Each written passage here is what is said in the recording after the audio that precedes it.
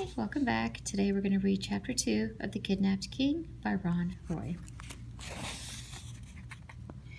Chapter 2 Dink went back to school and handed a note to Miss Ingle. Since school was almost out, Mr. Dillon had given him permission to leave early. Dink filled his book bag and whispered what was going on to Josh and Ruth Rose. Dink's mother drove him and Sammy home to Woody Street. Sammy was quiet in the car. He kept turning around and looking out the rear window. Miss Clinker said she'd bring your luggage over in a little while. Dink's mother told Sammy, Dink, will you? Dink will help you get settled in.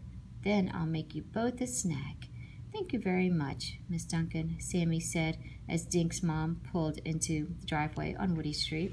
Dink climbed out of the car with his book bag clunking against his shoulders. Your room is next to mine, he told Sammy, leading the way upstairs. Dink took Sammy into the guest room. There was a bed, a dresser, and a braided rug on the floor. A reading lamp stood on the table next to the bed. Sammy looked at the room quietly. This is very nice, he said. Come on, I'll show you my room, Dink said. He and Sammy passed through the bathroom. On the other side was Dink's bedroom. As soon as Dink stepped into his room, Loretta began shrieking and running around in her cage. What is that? Sammy shouted, hiding behind Dink. Just my guinea pig, Dink said. Loretta's really friendly. You want to hold her? I am allergic to fur, Sammy said, peering into the cage. Don't let it out. Okay, I won't, Dink said. Dink, his mother called from downstairs. Are you and Sammy ready for a snack? Are you hungry? Dink asked Sammy. Sammy wrinkled his nose. What are we having? Dink pretended to think and said, mm, just the usual. Rat's ears on crackers. Sammy stared at Dink. You are joking. Yes, I'm joking. Dink said, Come on downstairs. Dink's mother put a plate of peanut butter cookies and a quart of milk on the counter. Sammy inspected the cookies, then selected one. You're not allergic to cookies, are you? Dink asked. Sammy shook his head and took a small bite. The doorbell rang, and Dink opened the door. Josh and Ruth Rose stood on, on the steps. Pal, Josh's basset hound, sat at their feet. We came to see if you and Sammy want to come out and play, Ruth Rose said. She had a purple Nerf football in her hand. The ball matched her purple jeans and sweatshirt. Hi, guys, come on in, Dink said. Josh made a beeline for the plate of cookies.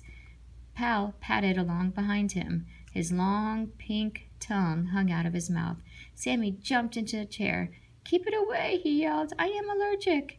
Dink's mother put her hand on Sammy's shoulder. It's okay, Sammy. Josh can Pal wait on the porch? Sure, Miss D. Come on, boy, Josh said as he led Pal out of the room. Help yourselves, kids, Dink's mom said, pouring four glasses of milk. Josh came back and grabbed two cookies. Why are you wearing your bathrobe? he asked Sammy. It is what we wear in my country, Sammy said, sipping his milk. I think it's beautiful, Ruth Ann, Ruth Rose said. I wish I had one. The doorbell rang again. This time it was Joan Clinker, Sammy's tutor. She had come in a taxi with Sammy's suitcase. Dink helped the driver carry them into the hallway. Hi, Sammy, she said. How do you like the house? There are animals here, Sammy said. I am allergic, you know. I'm afraid we have a guinea pig, Dink's mother said. Yes, and I saw the dog on the porch, Joan Clinker said. I hope Sammy's allergies won't be too much trouble. Dink's mother smiled. I'm sure we'll make out fine, she said. Dink, why don't you take Sammy's luggage up to the room before you go out to play? May I come too? Joan Clinker asked. I'd like to look at the room where Sammy will stay. Do you mind? Not at all. Dink will show you the way. Dink and Josh lugged the suitcase up the stairs, then plopped them down on Sammy's bed. Ruth Rose followed, with Sammy and his tutor right behind. Joan Clinker walked around the room. She inspected the windows and tested the locks. She rattled the handles on the doors to the bathroom and hallways. Do these doors have locks? she asked Dink. Um, yeah, but we never use them, he answered. Is there a nightlight? she asked. Dink pointed to a small blue light sticking from a wall socket. Joan Clinker nodded. I guess this will do, she said. Now, may I see Sammy's bathroom? Dink showed Joan the bathroom he and Sammy would share. The woman checked out everything in the bathroom, then peeked into Dink's room on the other side. Who sleeps in here? she asked. Me, Dink said. My parents' room is downstairs. Do they have their own bathroom down there? Joan asked. Dink nodded as they walked back to, into Sammy's room.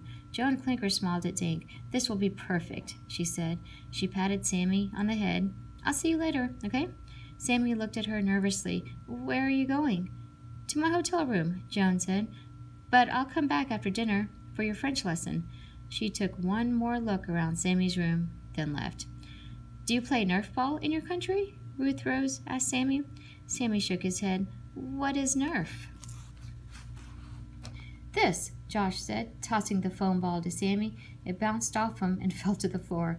Mm, do you want to change? Dink asked Sammy. Sammy stared at his suitcase. Your mother said she'd unpack for me, he said. She will, Dink said, but for now you can wear some of my stuff. Come on, and come on into my room. The four kids trooped through the bathroom and into Dink's room. Loretta began running around her cage.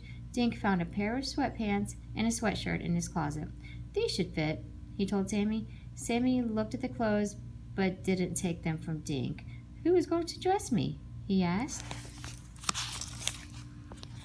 Chapter 3